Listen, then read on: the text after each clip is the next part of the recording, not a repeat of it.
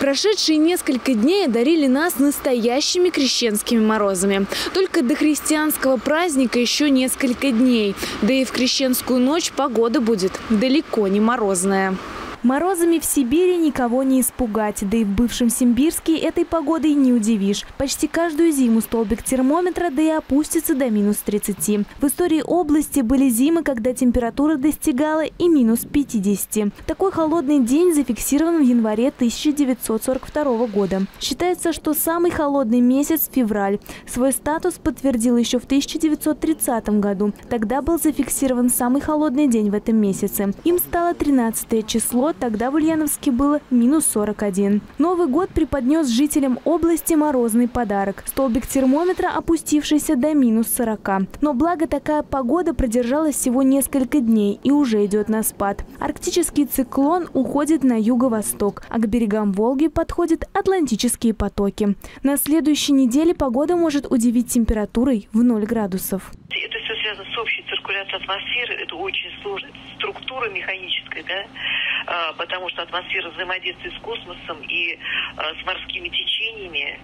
Вот, сейчас какой-то очень необычный период морских течениях происходит, но мы это, в общем-то, не изучаем, наша как бы организация с этим не связана, просто из отдельных источников.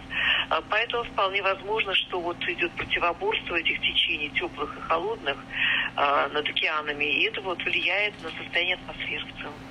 В этом году зима переменчивая. Тепло сменяется похолоданием, снег ледяным дождем и трескучим морозом. Такие погодные скачки особенно чувствуют метеозависимые люди. Головные боли, боли в мышцах и суставах, сонливость, повышенное или сниженное артериальное давление. Метеочувствительности особенно подвержены люди с хроническими патологиями, болезнями сердца, эндокринными нарушениями, психическими расстройствами, заболеваниями костей и суставов, а также люди, пережившие травмы травмы и операции.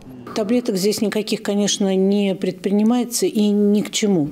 Просто нужно упорядочить свой режим дня, режим отдыха. Обязательно полноценный сон, полноценное питание. Потому что если человек, допустим, голодает, и плюс вот стрессовая такая ситуация с погодными условиями, то это будет только во вред организму. Вот поэтому, а, да, еще хочу предупредить, что ни в коем случае не прекращать прием а, препаратов, которые принимает человек постоянно.